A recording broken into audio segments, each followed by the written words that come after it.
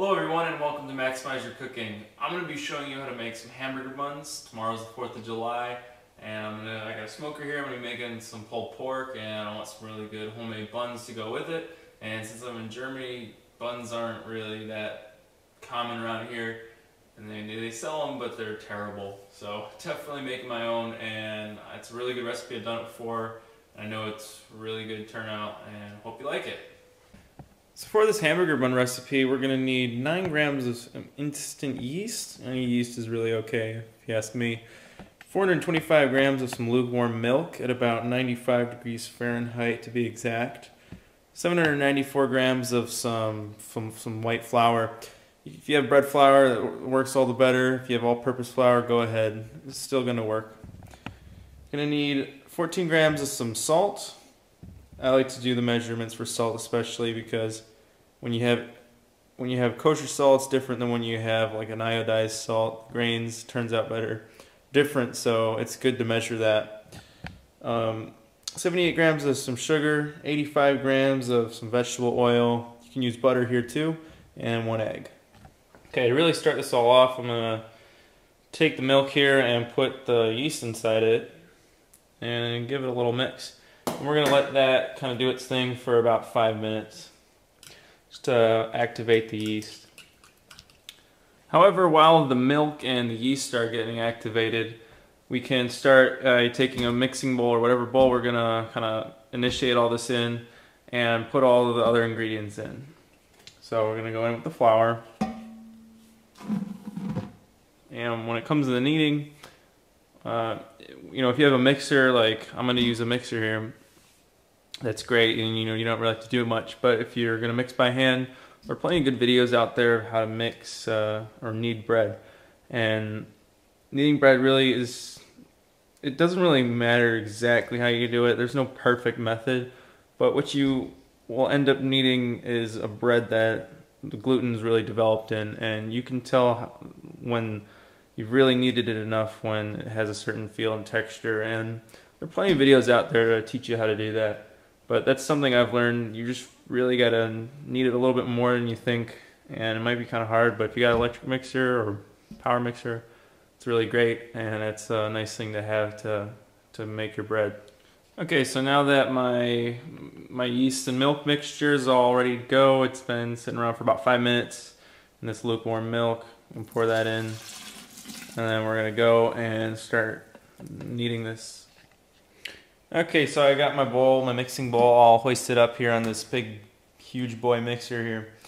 And um, it's a little wobbly, this old thing, but it's to mix the bread up real nice, knead it, and uh, we'll see how it looks in about 10 minutes. We can get an eye of how the dough looks and feels, and we'll see how, how it is.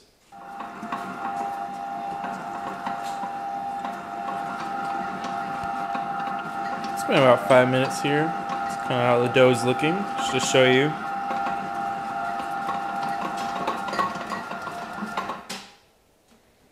Well, it's been about 10 minutes here. Let's check it out. Is kind of how I know it's done is when all the dough isn't really sticking to the bottom anymore and it's kind of like all mashed up into the dough hook.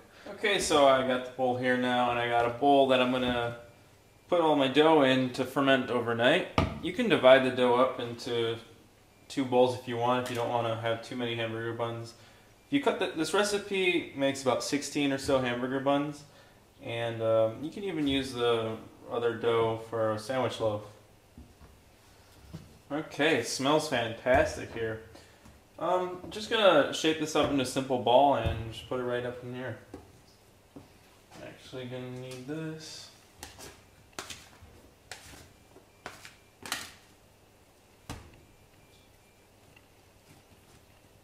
Mm, feels got a nice gluten development here. Definitely helpful to have a little paddle or um, pastry scraper. That's what it's called. Around for making bread.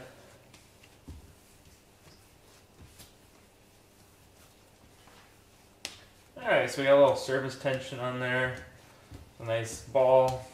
And believe it or not, this makes quite a few hamburger buns into the bowl. Lightly grease the bowl, something I recommend, make it a little easier to come out. But uh, yeah, that's gonna go in overnight. You can do it for about up to about four days in the fridge for fermentation, but definitely is a good idea to let this ferment overnight at least uh, for flavor development in the dough. Okay, so it's about two and a half hours before I'm gonna bake the bread here, and I'm gonna unwrap this. And I'm actually gonna divide this dough in half because I don't really need a bunch of buns. And I'm just gonna make a sandwich roll with the other one, on the other half. Okay, so I divided it in half, and now what I'm gonna do, you don't have to do this, but assuming you have a scale, um, I'm gonna Oh, each bun is going to be about three ounces. You can make them a little smaller, a little bigger, uh, which is about 85 grams for three ounces. So I'm just going to divide them into three or 85 gram pieces of dough, and then we'll shape them up into balls.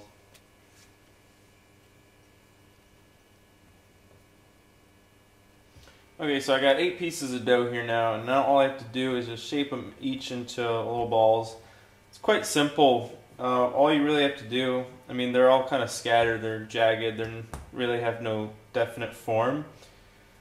Just start taking it from any side and just take everything with your thumbs and push it all into the middle to get a little surface tension.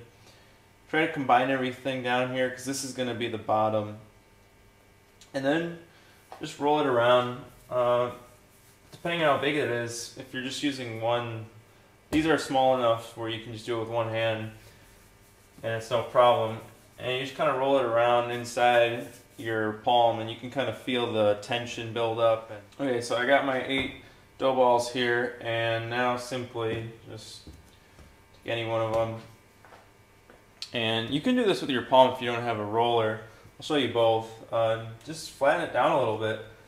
Just like a hamburger bun, super simple. There's really nothing, nothing to that at all and you can place it right onto whatever sheet you're going to use.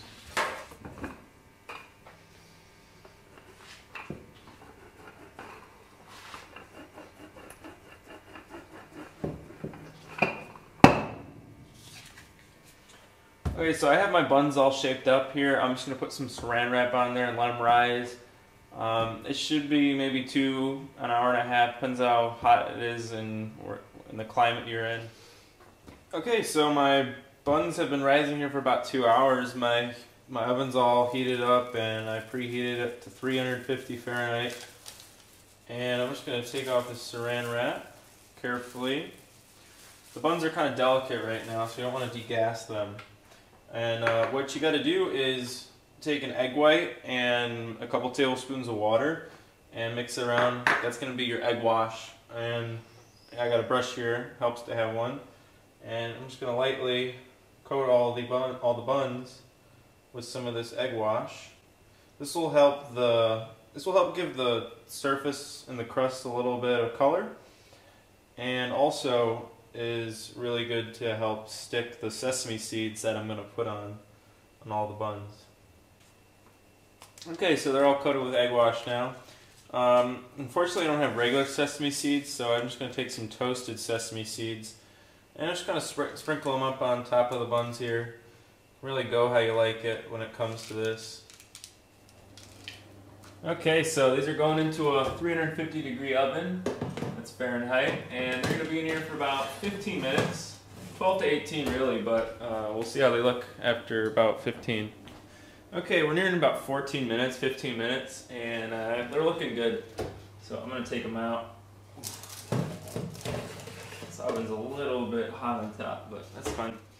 But there they are. That's those are your buns, and now you just gotta really just let them cool down, and you can slice them up and serve them with anything you like.